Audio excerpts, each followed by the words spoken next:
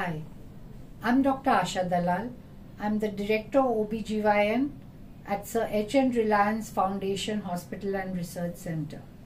August 1 to 7 is usually celebrated as the Breastfeeding Week. The theme for this year's Breastfeeding Week is Let's make breastfeeding and work work. UNICEF has very rightly said that breastfeeding leads to comprehensive development not only of the baby but of the mother and society as a whole.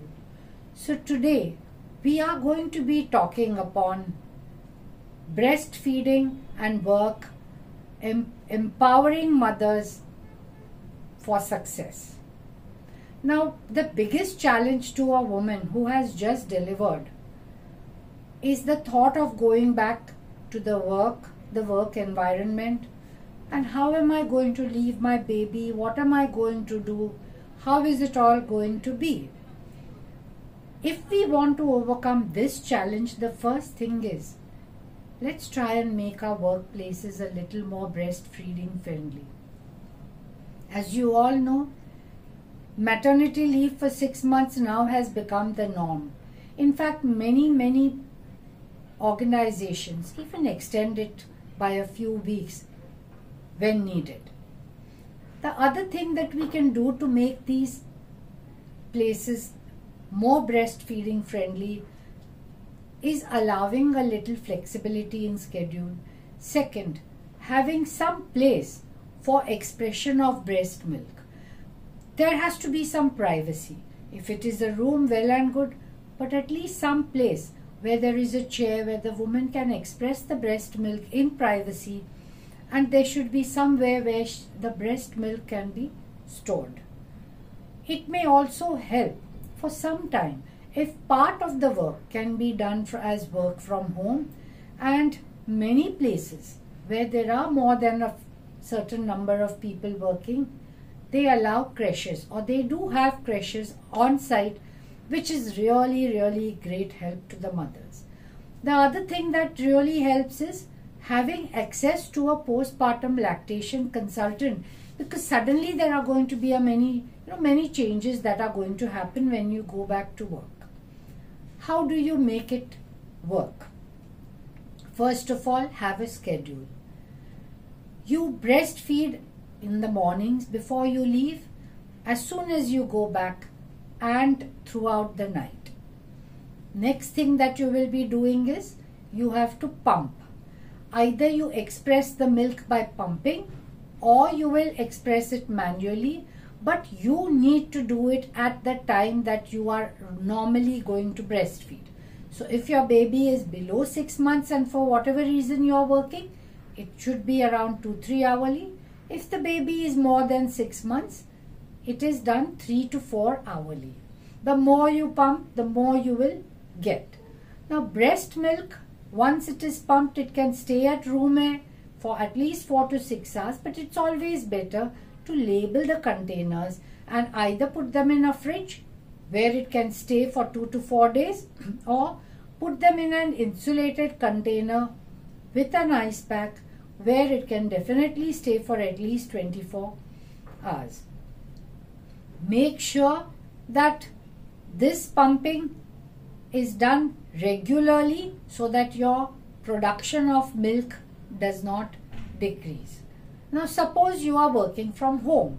It is very important to maintain your breastfeeding schedule according to what it was before you started working.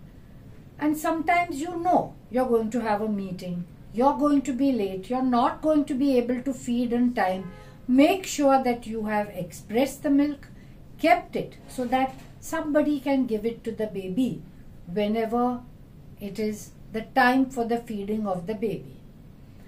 Common complaint of most working moms I feel so tired. I'm all the time shattered.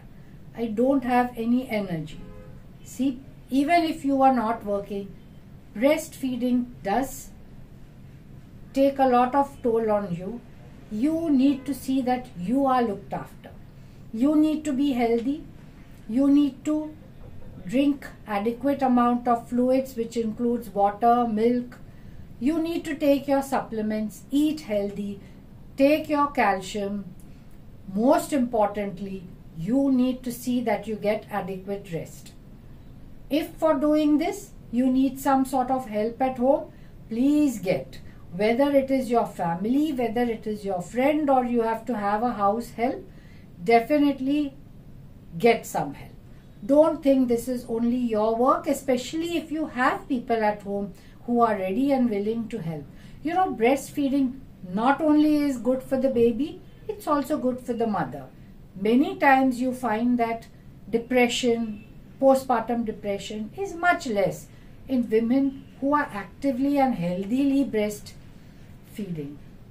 Now, when you're talking about breastfeeding, it's not something at work that will just happen.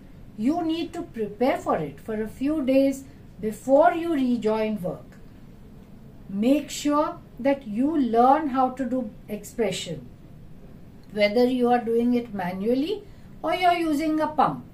Make sure that you see that you are expressing it completely, learning to store, label, so that you use the, uh, the first bottle before the second or the third.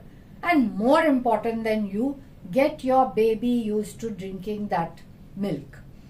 That milk most of the times is given by a bottle. So see that your baby gets used to taking from a bottle when you're not there. If you just don't train them before you leave, many times the kids just refuse to take the bottle.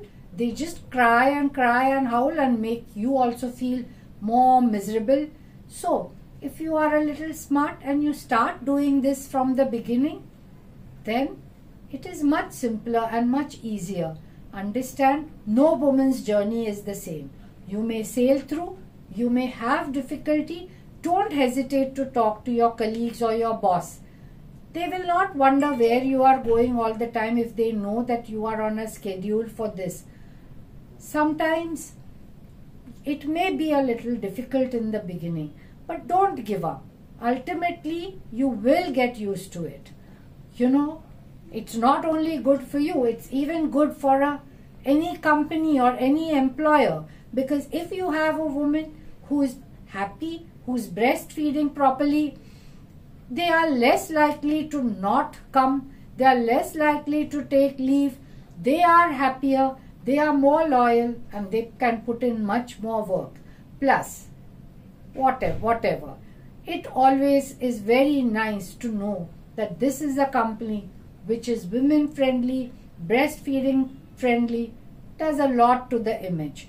But mostly for a woman, breastfeeding definitely, definitely improves your bond with the baby and it is wonderful for the baby and for you. Besides being a natural contraceptive, it helps you in weight loss and has several other problems. So, let us help you in seeing to it that you do not stop breastfeeding. Just if some minor discomforts or minor problems come in the way. Thank you.